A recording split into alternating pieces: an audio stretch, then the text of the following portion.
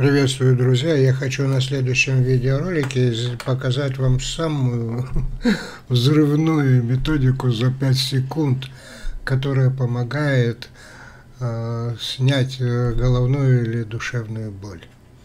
Да, и перевести себя, как говорится, условно, на образ будущего, чтобы вы могли себе создать образ будущего, каким вы хотите себя чувствовать после, каким вы хотите себя чувствовать через 20 лет – и это сделается доминантой, потому что это будет такая трансформация вашей идеи а, в реализацию вашего будущего, что вы сами удивитесь. Поэтому, поэтому вам лучше подписаться на наш видео а, канал, на YouTube канал, чтобы вы могли не пропустить. А хотите не подписывайтесь, это ваше дело. Но будет очень взрывной такой 5 секунд, что вы из э, бытовщины, из рутины, из неприятного состояния могли мгновенно выскочить на хорошее самочувствие, хорошее состояние, такое окрыление, знаете, это такое ощущение, я этим постоянно пользуюсь, но это уже последнее достижение. Последнее достижение, потому что 5 секунд это все-таки не 5 часов и не 5 минут, это не пять дней, это пять секунд. Я почему это повторяю? Потому что все-таки это большое достижение. Да. И кто потом мне будет там писать, что это известно тысячу лет, вы мне присылайте ссылки, чтобы я мог посмотреть, если это действительно известно тысячу лет или сто лет, или даже, может быть, двадцать лет, где-то это описано, где-то это обозначено – я просто сниму шляпу, которой у меня сейчас нет. Но неважно. Неважно. Вы понимаете, о чем я говорю. А сейчас я хочу сказать вот что. Как общаются две половины мозга, условно говоря. Они то размыкаются, то смыкаются с высокой готовностью смыкаться таким образом, на что вы настроены. Когда они размыкаются, появляется нулевое состояние переходное состояние между бодрствованием и трансом, переходное состояние между бодрствованием и сном, э, ну и так далее, и так далее, между агрегатными состояниями работы мозга. Так вот, дело в том, что был такой Райков. Да, известный, известный Райков, вы можете посмотреть на YouTube-канале, который гипнотизировал детей и в гипнозе им внушал, что они гениальные художники. И они по факту лучше рисовали. Да, вот это очень большое было достижение, но минусом было то, что там нужен был гипнотизер. Но запомните вот этот факт, что он в гипнозе внушал не детали какие-то, что вы будете лучше рисовать там и так далее, а что сразу вы гениально будете рисовать. То есть ставил такую большую планку, цель. И вот оказалось потом, когда я уже исследовал, э, что если человек раскрепостится, снимет нервно-мышечные зажимы, у него происходит такое же явление. Если он, снимая нервно-мышечные зажимы, делая синхрогимнастику, подбирая там действия синхронные текущему состоянию, здесь и сейчас, в моменте, когда он это делает, подберет действия, которые настолько ему естественны, настолько ему ну, не затратны мышечно, ну, так легко делать, э, то по этому критерию он тоже приходит к этому состоянию, когда он может помечтать, что он гений, что он будет делать то-то и то-то лучше всех и так далее, рисовать будет как великий художник, писать там стихи как великий поэт, то есть по существу он – размыкает тоже две половины мозга, опять их смыкает уже с этой доминантой. И поэтому потом у него лучше получается, чем было раньше. То, чем бы он бы не занимался, чем он хочет.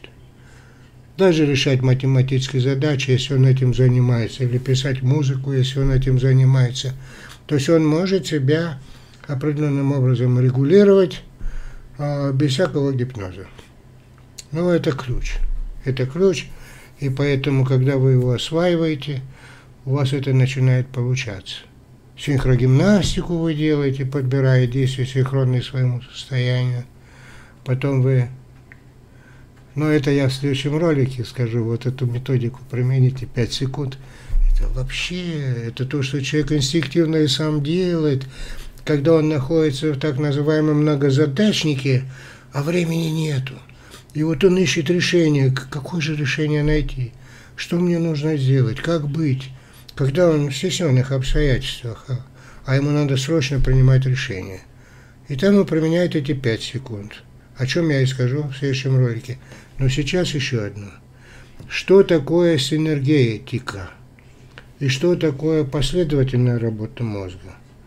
И что такое синергетический собеседник?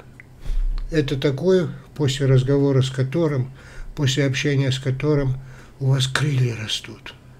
Он вас понимает, он вас окрыляет, он вас вдохновляет. Синергетический собеседник.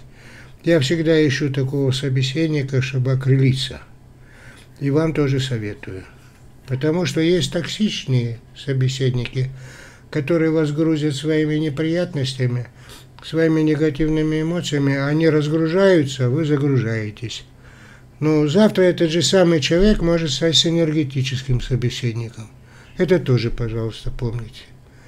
Не надо ставить уже точку – на общение с человеком, потому что завтра все поменяется, и он будет лучезарный, и он будет вас вдохновлять, и вы будете друг друга понимать и окрыляться, и вместе идти к решению общей цели.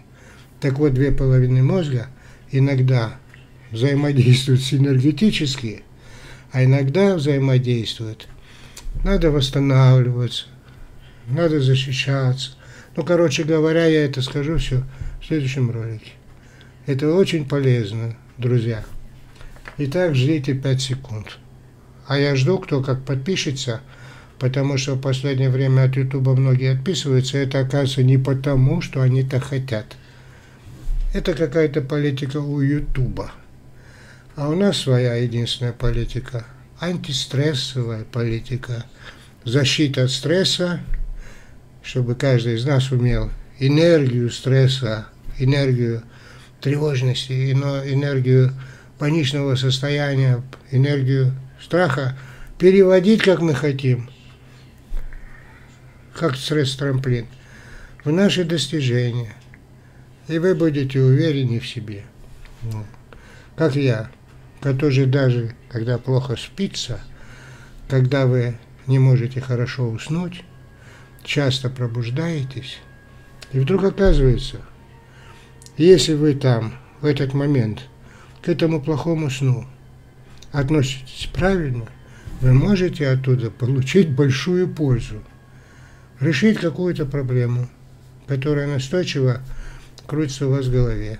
Если вы знаете об этом, что частые пробуждения вынужденные, это частые входы в ноль и выход, а когда вы входите в ноль, там вы обнуляетесь, разгружаетесь моментами и выходите снова, продолжая думать об этой проблеме, и, наконец, ее решаете. Но все же лучше высыпаться, потому что тогда вы полны энергии, тогда вы можете использовать этот же дробный сон с еще большей полезностью. Да, друзья, до встречи.